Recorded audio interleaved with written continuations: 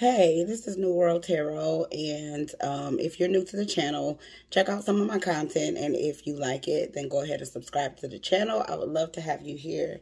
Um, so, um, the reason why I'm here today is because I ran across a very interesting conversation from Jordan Peterson.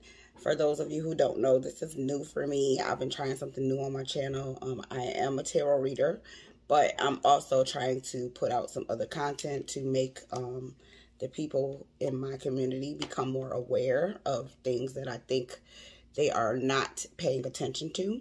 So I wanted to bring forward this conversation and give my thoughts and opinions on it. Um, I hope that you guys enjoy the video. Don't forget to thumbs up. And like I said, subscribe if you care to. All right, let's get into it. A really good way of deciding who you should have around you because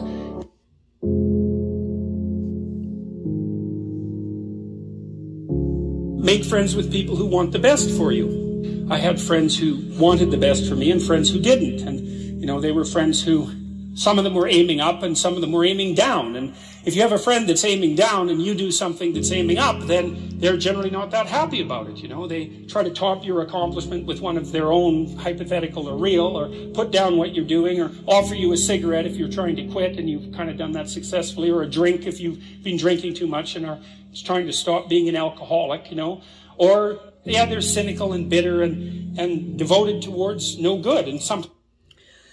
Let me just say this first of all. Um, I tell people often on my channel that um, sometimes, even though it is one of the most difficult things to do, a lot of times when you're trying to elevate and you're trying to become the best version of yourself, one of the hardest things I think that people have to do is to walk away from family and friends, especially lifelong friends or people that are very close to you, um, parents, siblings, um, you know, cousins and people that are really, really close to you. But I've had people do the exact thing that he just said. Both the statements that he mentioned, I quit smoking for like eight months and I had a cousin that came over to my house to visit and blew smoke all in my face. Um, another point in time, I had stopped drinking and I had a family member shaking a bottle of liquor in my face, like, you know, you want some, you know, you want some.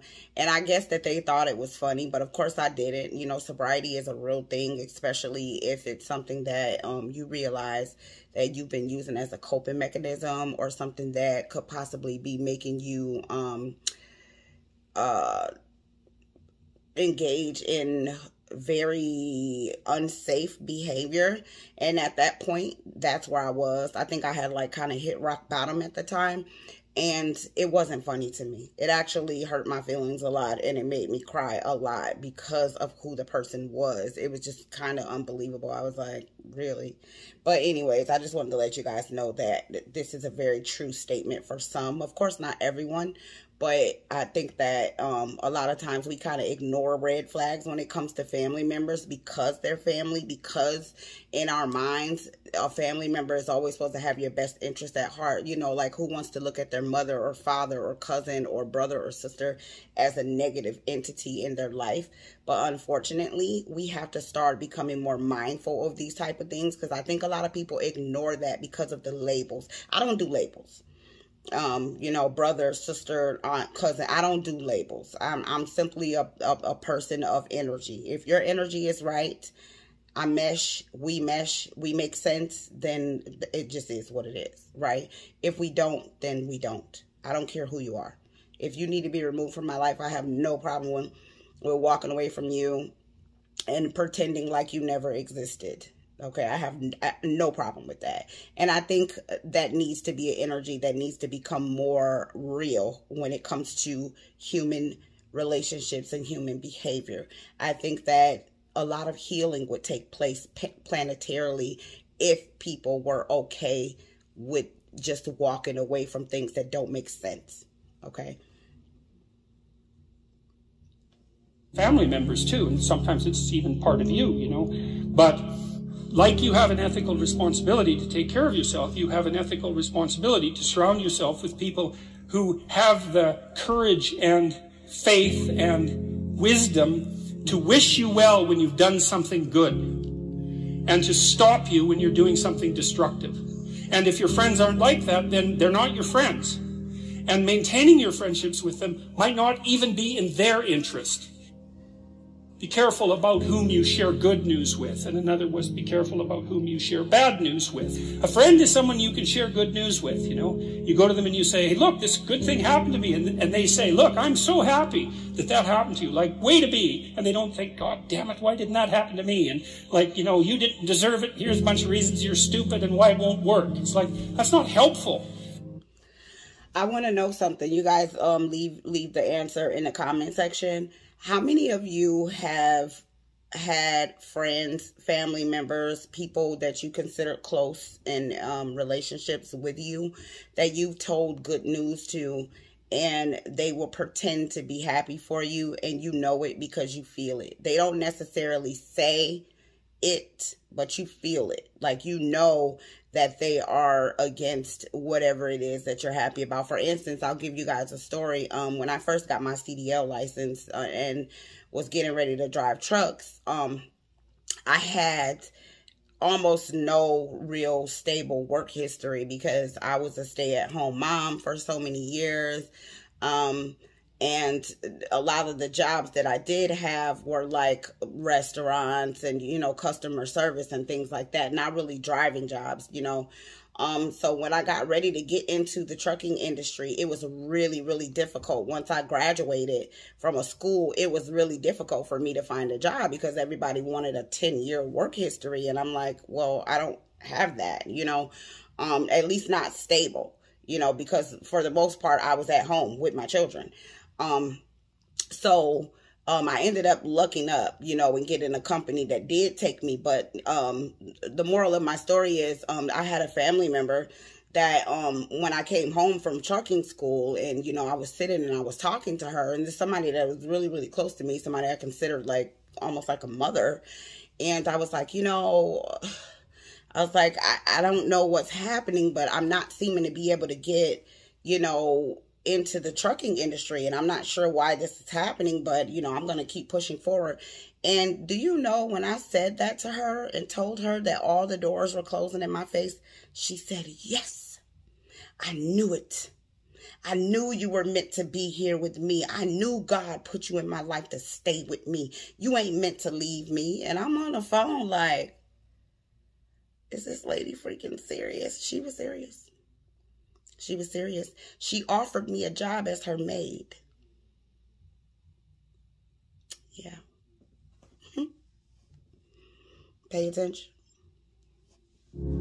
Carl Rogers, who's a psychotherapist, he had this idea that what he would manifest towards his clients in therapy was unconditional positive regard. And I've always had trouble with that because, well, because you don't treat your children, for example, with unconditional positive regard. You mean, so no matter what someone yeah. says, you're saying, yeah, that's a good idea. Yeah, well, that's, well that's that's why it's tricky. Well, what he what he he didn't articulate it, I think, as well as he might have. What you want to do is for your child is that you want the best for the best in them. That's what you want, and that's what you want from people that you surround yourself with. Now they'll hold you to a high standard if that's the case, right? Because whenever you degenerate in any of the multiple ways that you're likely to degenerate, they're going to like whack you on the back of the head and say, you know, clue the hell in. You know, you're you're demeaning yourself. You're less than you could be, and there, there's real judgment in that, and it's harsh.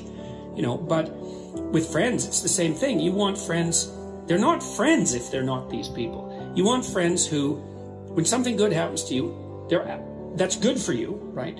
They're happy about that. They're not like all bitter and resentful underground and like saying horrible things behind your back and telling you how they did something that was better and trying to drag you down. It's like that's not helpful. And then when something bad happens to you and you go to them and you say, look, this terrible thing happened to me. First of all, they don't try to top it with some like horrible thing that happened to them because they don't have the patience to listen. And second, they're not secretly gloating about the fact that catastrophe finally befell you. It's like they're actually hurt by it. And that, that chapter is an injunction. It's like take a look at the people that are around you. And if they're not on the side of what's good for you, then walk away. Because, well, first of all, that's best for them too. If you put up with that, all you're doing is enabling it. It's like, well, it's okay that you mistreat me in a way that's harmful to me and everyone else. It's like, actually, no, that is not okay. It's not, in, it's not the least bit okay. That doesn't mean you shouldn't try to help someone when they're down that's a whole different issue. What if it's your family? So you know how you say like walk away, right? Do you still walk away from your family? You do if it's necessary. Yeah. There's lots of different ways of walking away. Sometimes someone's on an incorrigible path. Yeah. Like there's just nothing you can do. You know, maybe they're aiming down and they're bitter and everything they do is to produce misery, virtually everything. And you have to detach yourself from that. It's like I always think about it from the perspective of a lifeguard. So if you're training to be a lifeguard, one of the things that you're trained to do is to approach someone who's drowning and panicking. And the way you approach them is you put your foot out between you and them and you push forward with your hands with your foot out. And you basically tell them if they're flailing about, say, look, I'm here to help, but you have to calm down. And then if they cling to you, like in panic, you push them away. You think, well, that's pretty damn cruel because what if they drown? It's like, yeah, what if you both drown? That's like not helpful. You're you're there to rescue them. They take you down. You're both dead. It's like so basically what he's saying is one of the red flags that a lot of people love to ignore for some odd reason is when they see a person in distress. Okay, he used the the scenario of a drowning, someone drowning. Okay, this part of the message is going to be for black women. I want to know this. If you see black men drowning, you see them flailing, flailing about, they're panicking, you see them drowning, you see them in need of your help. Why would you run in and go and allow them to grab onto you and bring you down as well and you both end up dying. This is what I see happening in the black community every single day. I see black women being tortured because they're educated, being told that they're wrong for owning homes, being told that they're wrong for having money, being told that they're wrong for having standards. Everything that you do, black men are sitting around complaining about it. It doesn't matter what it is. If you say, oh, I'm going to save myself, oh, you aren't freaky enough. Oh, that's why I'm going to go get with Becky. If you make too much money, oh, you make too much money. Oh, nope, I'm going to go get Becky. Oh, you own a home. No, I don't even want you owning a home. No, I'm going to go get Becky. That is a sign of somebody who's insecure. Someone who is on a downward spiral straight to the bottom with no wings, no parachute, no nothing. They're they're going to hit rock bottom. But black women for some reason keep running in to rescue them and these men keep taking them down with them. My question to black women, I do want you to leave comments in the comment section. I want to know why are you allowing this behavior? Why do you not see this behavior as dangerous? Why do you not see your life in danger? Why? I don't understand why you don't get it. I don't understand why you don't see what everyone else can see. Pay attention. Right? It's like, well, it's the same with someone in your family. It's like if they're on a downward path and you've done your best, you know, you've you've made your efforts, you've and they're not paying attention. They're not changing. They say, yeah, well, I'll quit doing this. Yeah, I'll quit doing this. They tell you the same story over and over and over. It's a downhill path. Mm-hmm. You don't trust it. At some point, first of all, you stop offering your words. If you're offering words of wisdom to someone in the genuine attempt to help and they treat that with contempt, then shut up. Why? Why? Why do we keep trying to have conversations with them? Why do we keep trying to reason with people that we see are going to, they're going to pick apart everything that you say, find something wrong with it, and then they're going to blame you for everything. You can't even be the responsible parent and be there for your child without that even being a problem. Being being normal, being human the natural instinct of a mother. I don't care if you're a human. I don't care if you're a monkey. I don't care if you're an elephant, a, a lion, any ant. Every single thing that exists on the planet, the mother's natural instinct is to care for her offspring. They're blaming you for that. They're telling you that the black community is in the condition that it's in because you are being the responsible party. Pay attention, ladies. You're demeaning your words by throwing them away. You think, well, how do you help someone who's aiming down? Well, sometimes you help them by walking away and saying, look, you're aiming down so hard, despite the fact you're my brother, man. It's like, you know, this is killing me. You're aiming down so hard. I'm not coming along with you. And the reason I'm not is to tell you in no uncertain terms that what you're doing is so terrible that I will even violate our kinship to oppose it. And maybe it'll take them 10 years to wake up to that, you know? And so that can be the case because, you know, people often have to be hit so many times before they'll learn. Black women, how many times do you have to be hit before you learn? How much history do you need?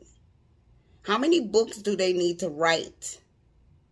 How many times do you have to see these men toe tagging women every single day, several times a day, before you finally say, okay, wait a minute. Maybe there's something wrong with my behavior. Maybe I'm not really helping. Maybe what I'm doing is enabling. Maybe me not holding these men responsible for their action and and and standing up for them and fighting for them and and and making excuses for them is not really helping them. When are you going to sit down with yourself, whoever you are, wherever you are? When are you going to sit down with yourself and say, okay, wait a minute, let me look at this thing from a different lens? Let me pay attention to what's happening in my community. What is actually going on? Or are you going to be sensitive to, oh, he didn't do anything. Oh, Brian put his knee on his neck oh, you shouldn't treat him like that? Or are you paying attention to what's actually happening and going on around you? Are you really paying attention? That would be my question to you. Are you really paying attention?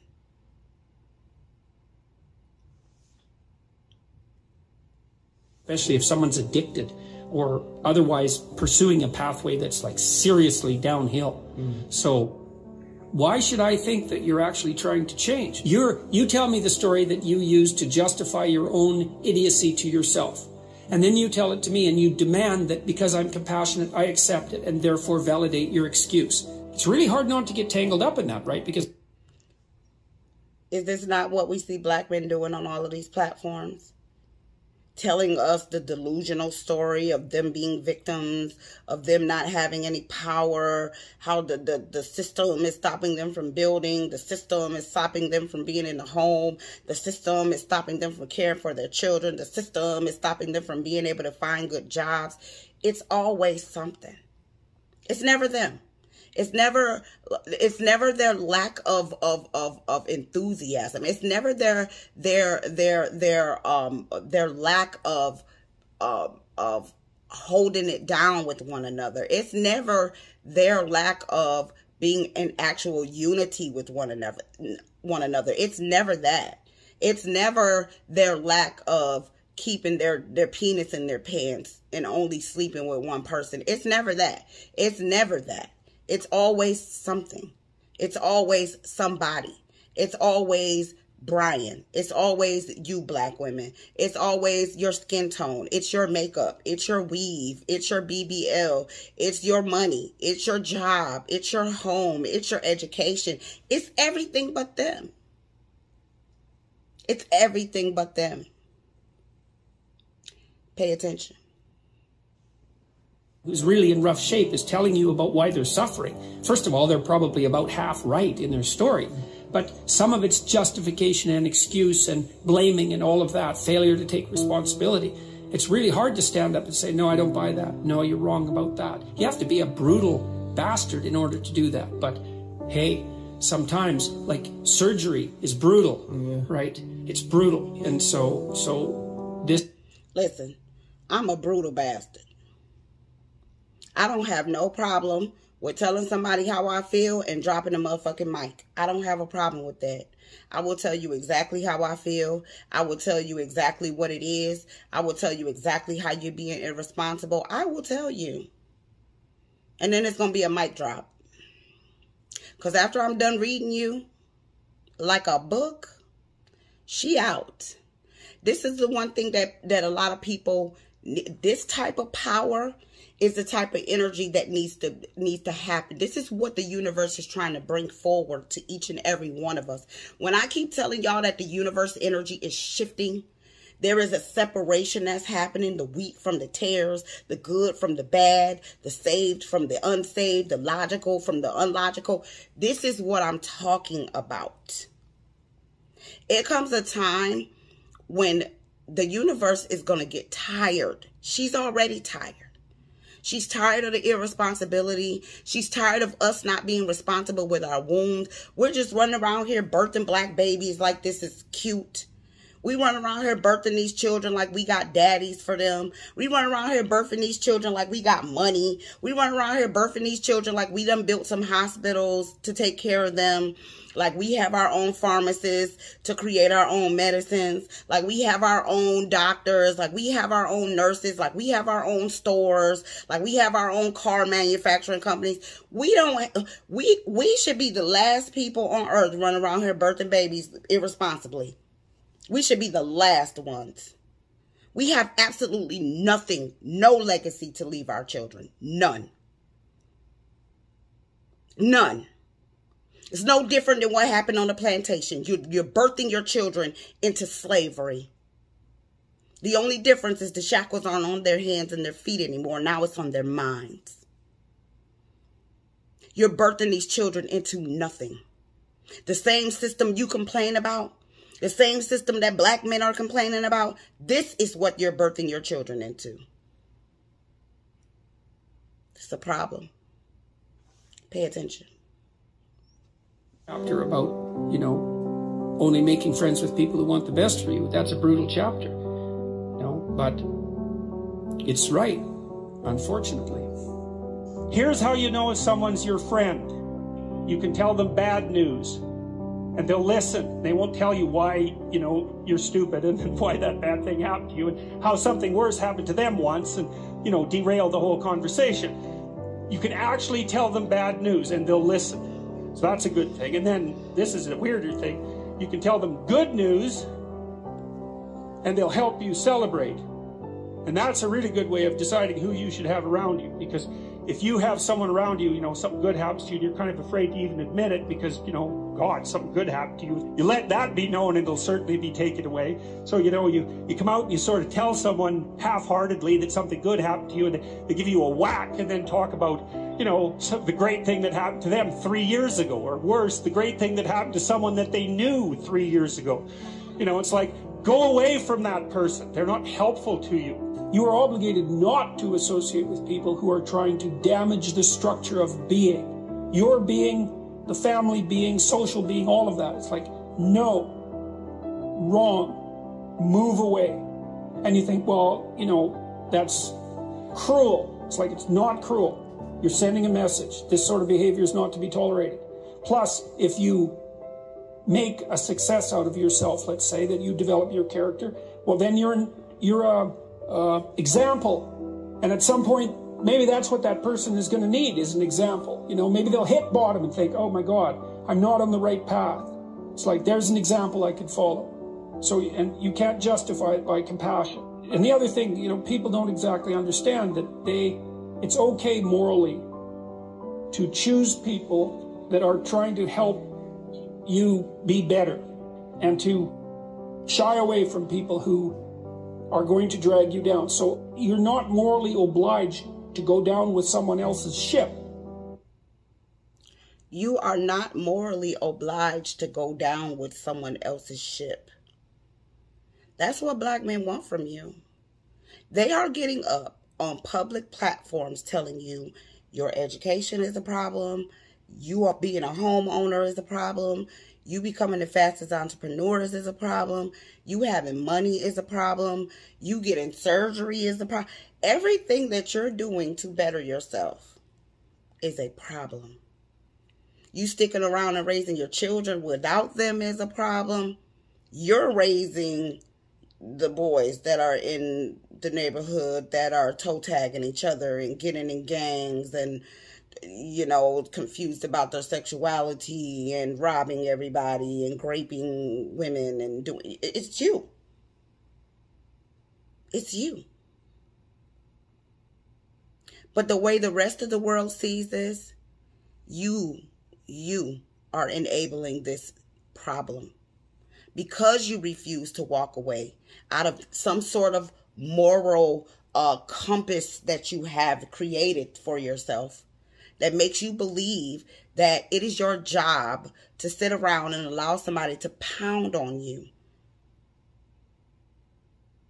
And in your mind, this is your job, and it's not. It is not your job to allow someone to drown you because they are being irresponsible or afraid. It is not your job to pick up the pieces for someone in life when they don't know how to handle life. It is not your job to allow someone to bring your self esteem down so low that when they sink, you sink with them. That's not your responsibility. Why are you taking responsibility for this? I don't know. But it's a problem. It is. And what needs to be happening is you need to be very carefully paying attention to who it is that you decide to procreate with. Don't get me wrong. Listen, I'm not telling no woman out here on earth that it's not her God-given right to have children if she wants to. Everybody don't want that. But the ones who do want children, that is your right.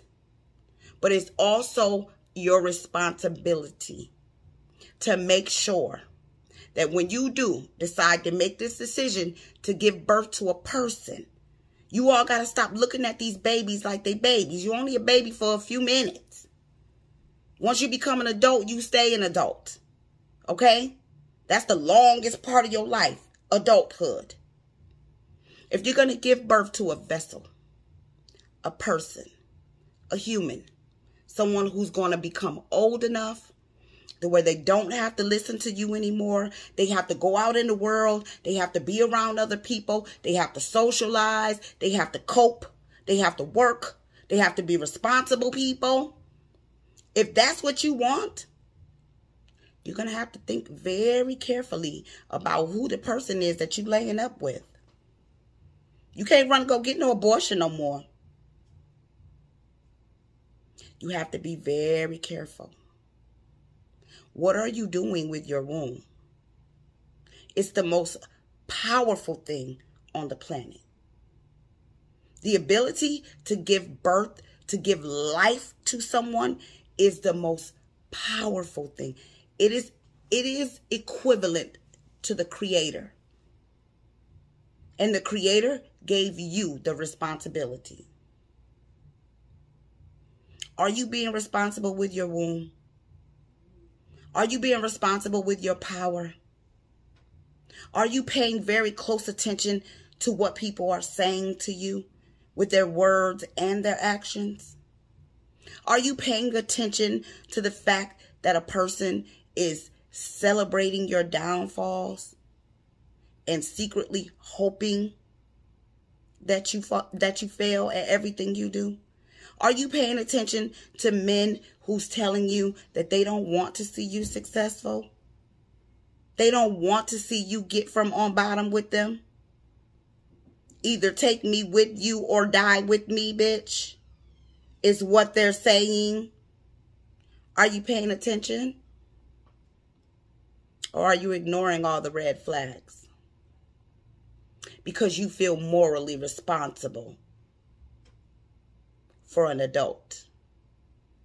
You feel morally responsible because you want to be married. You feel morally responsible because he walked out and left his children. You feel morally responsible because you don't want to hurt his feelings. If we don't change the way we think now, we are all on a downward spiral. And we will hit. We will. Just to show us the sunshine. This universe ain't never had a problem with getting rid of people. And black people, you are the most endangered than any other species on the planet. You are endangered.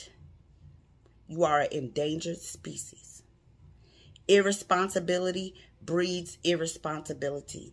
When are you going to stand up and show these people that this this behavior is unacceptable? When are you going to stand up and take responsibility for your God-given right to govern who comes through your body? When are you going to do it? Everybody's waiting for you.